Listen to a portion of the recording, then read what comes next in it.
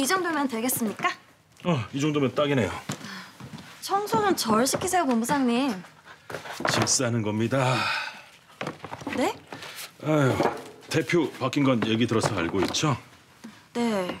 아무래도 내가 잘릴 것 같아서 미리 정리 좀 해두는 거예요. 어디로 가시는데요?